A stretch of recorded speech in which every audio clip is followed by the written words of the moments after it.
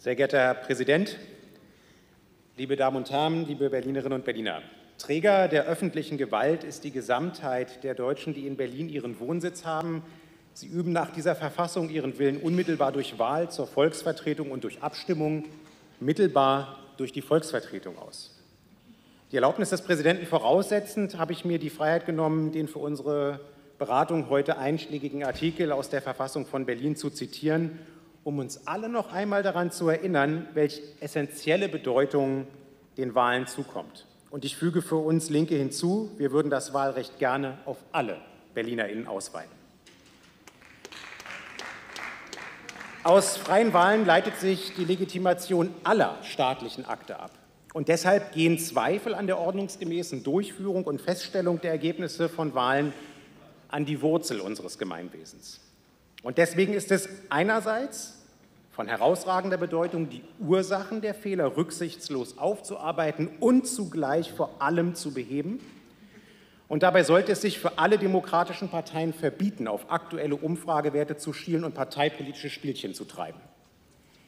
Der Abschlussbericht der von uns Linken ursprünglich vorgeschlagenen Expertinnenkommission hat deutlich gemacht, dass die Fehler im vergangenen Jahr auf strukturellen Problemen beruhen. Sie haben dazu geführt, dass das Wahlsystem in Berlin nicht krisenfest ist. Ein Grund dafür ist das Wahlgesetz, das seit 1977 nicht mehr grundsätzlich angepackt wurde, trotz aller Veränderungen der vergangenen 45 Jahre. Es gibt zum Beispiel keine klaren Zuständigkeiten zwischen den Landes- und Bezirkswahlämtern oder gesetzliche Kriterien für das Wahlprüfungsverfahren. Ob diese strukturellen Mängel der zuständigen Senatsverwaltung schon seit 2017, wie angesprochen, bekannt waren und falls ja, durch diese hätten behoben werden könnten, muss noch geklärt werden. Sehr geehrte Damen und Herren, die ordnungsgemäße Durchführung von Wahlen darf in unserer Demokratie aber nicht davon abhängen, ob einzelne Akteure oder ein einzelner Akteur seiner Aufgabe gewachsen ist oder nicht. Gegen individuelles Versagen muss es systemische, muss es rechtliche und organisatorische Absicherung geben. Im Klartext, das angesprochene Berliner Verantwortungspingpong darf es bei der Wahlorganisation nie wieder geben. Und dafür liegen viele Vorschläge auf dem Tisch. Notfalldurchgriffsrechte des Landeswahlleiters, einheitliche Standards, Probewahlen, eine Lex für den Vorrang von Wahlen gegenüber kommerziellen Großveranstaltungen und andere Punkte haben wir bereits vor zwei Wochen in diesem, Senat, diesem Saal miteinander beraten und auch eben sind sie angesprochen worden. Und wir haben bereits angefangen, die organisatorischen Ratschläge der Kommission im Senat umzusetzen. Doch aufgrund der vorläufigen Rechtsauffassung des Verfassungsgerichtshofs, die für die meisten Verfassungs- und Wahlrechtsexperten hinsichtlich des Umfangs überraschend war, und der voraussichtlich anstehenden Wahlwiederholung hat die Behebung der organisatorischen Mängel an Dringlichkeit gewonnen. Das ist, glaube ich, allen klar. Wir dürfen nicht und wir können nicht bis zur Verkündung des Urteils warten. Es müssen jetzt die Voraussetzungen für die ordnungsgemäße Durchführung der Wahlen getroffen werden. Und vor allem die Senatsinnenverwaltung ist gefordert, sich entsprechend des Kommissionsberichts nicht erneut auf eine, ich zitiere, nachträgliche Kontrolle zu beschränken, sondern eine tatkräftige, ich zitiere, unterstützende Begleitung zu bieten. Mein Eindruck ist, dass das passiert. Und ich gehe davon aus, dass die Wahlvorbereitung ab jetzt ständiger Tagesordnungspunkt im Senat wird. Und ich schlage vor, dass dies auch im Innenausschuss regelmäßig nachgehalten werden sollte. Denn wir als VolksvertreterInnen müssen die Wahlvorbereitung genauso engmaschig begleiten und die jetzt schon ersichtliche Wahlrechtsreform gründlich vorbereiten. Deswegen freue ich mich auch, dass der Ältestenrat dazu eine Arbeitsgruppe einrichten möchte. Von allen Fraktionen bis auf einer haben wir positive Rückmeldungen bekommen. Herr Wegner, Sie haben es heute nachgeholt, das freut mich. Das freut mich ausdrücklich. Sie sind spät bei der Party, aber besser spät als nie. Es hinterlässt aber so einen schalen Beigeschmack, muss ich an der Stelle sagen, ähnlich wie wenn Sie zu spät zur Party kommen und das äh, Sektglas nicht mehr ganz so prickelt. Aber wie gesagt, wir freuen uns, dass Sie heute zugesagt haben, mitzuarbeiten. Ich glaube, das ist der Sache dienlich.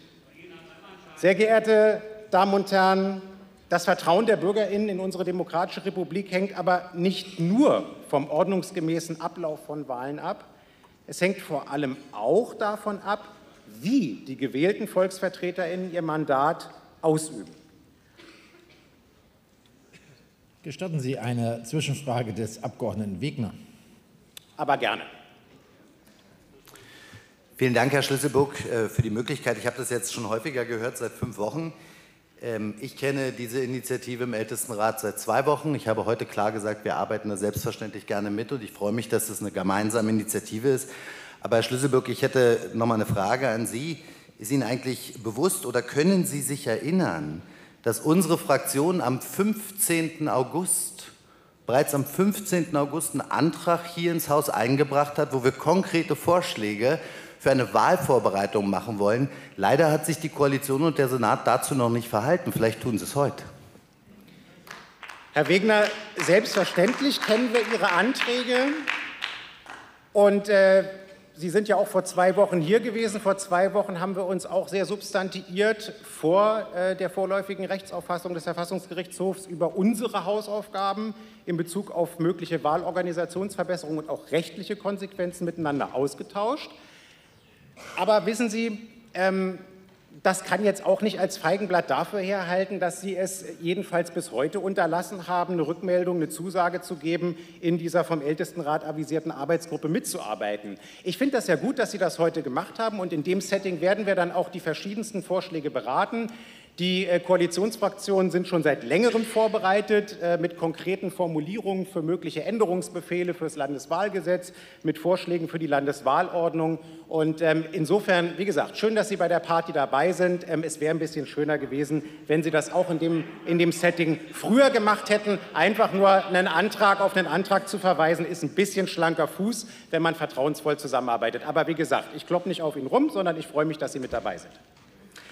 Herr Kollege, auch die Kollegin Seibel begehrt noch eine Zwischenfrage. Bitte gerne. Herr Kollege, sind Sie wirklich der Auffassung, dass die Frage, ob wirksame Wahlen in Berlin durchgeführt werden und wie die durchgeführt werden, mit dem Begriff, dass Sie bei der Party dabei sind, zutreffend bezeichnet sind? Also, Frau Kollegin Seibelt, ich habe am Anfang meiner Rede den einschlägigen Artikel der Verfassung von Berlin zu der Frage, wer trägt die öffentliche Gewalt und welche Bedeutung hat das, welche konstitutive Bedeutung hat das für alles das, was wir hier tun, ähm, an den Beginn meiner Rede gestellt. Ich glaube, dadurch äh, konnten Sie feststellen, welche wichtige Bedeutung ich den Wahlen zumesse.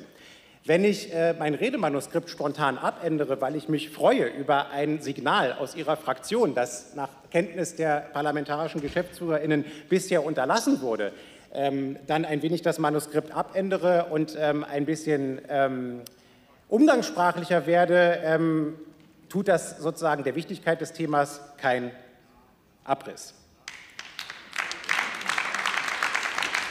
Kommen wir zurück zur Sache. Das Vertrauen der Bürgerinnen in unsere demokratische Republik hängt eben auch davon ab, wie die gewählten Vertreterinnen ihr Mandat ausüben. Bürgermeister Klaus Lederer möchte ich an der Stelle zitieren. Wir können nicht drei, vier, fünf Monate gar nichts tun. Und damit hat er recht. Durch den verbrecherischen Überfall Putins auf die Ukraine leben wir in Zeiten enormer Verunsicherung. Die Lebensmittel- und Energiepreise explodieren.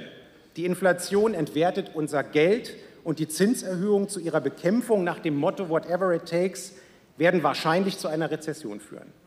Uns drohen deswegen soziale Verwerfungen, wenn wir nicht entschlossen mit allen staatlichen Mitteln gegensteuern.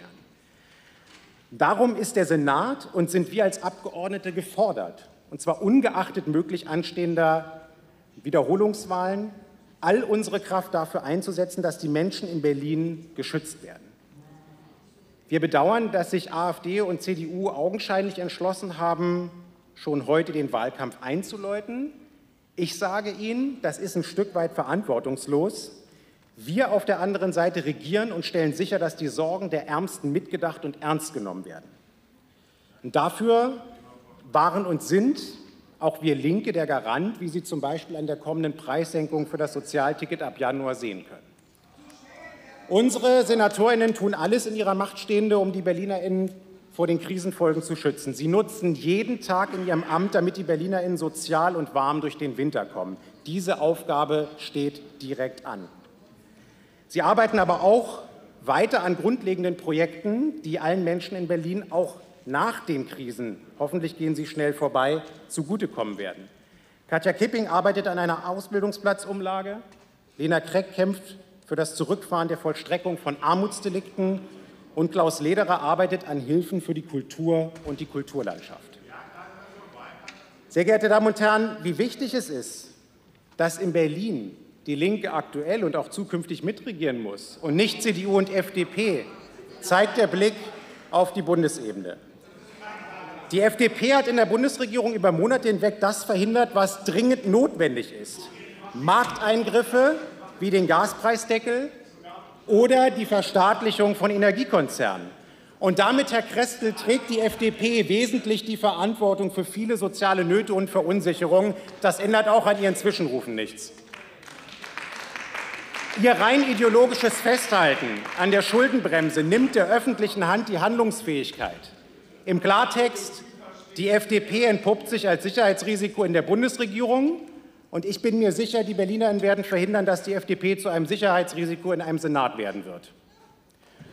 Und, und mal ehrlich, die Ampel, die Ampel mit der Lindner FDP auf der einen Seite und SPD und Grünen auf der anderen Seite arbeiten doch schon nach nur einem Jahr Koalition so vertrauensvoll in Anführungszeichen zusammen wie Lars Windhorst und Hertha BSC. Nein, auf so ein Teamplay können wir hier in Berlin wahrlich verzichten. Und was ist mit der CDU, werden einige fragen.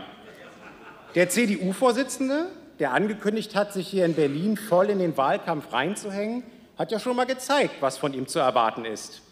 Er hat Menschen, die vor Putins Bomben fliehen, als Sozialtouristen denunziert. Und damit nicht genug. Er behauptet, unser Sozialsystem würde einen Zitat Pull-Faktor für Menschen aus anderen Ländern darstellen. Damit greift Herr Merz das Narrativ, ja, da würde ich mich auch aufregen, damit greift Herr Merz das Narrativ von Nazis und der AfD auf. Herr Wegner, wir finden das unerträglich und kreuzgefährlich. Ich hoffe, Sie auch.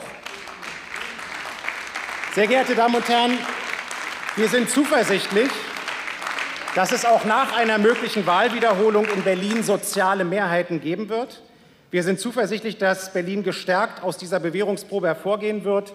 Und dafür werden wir jeden Tag bis zu den Wiederholungswahlen und darüber hinaus arbeiten. Herzlichen Dank für die Aufmerksamkeit.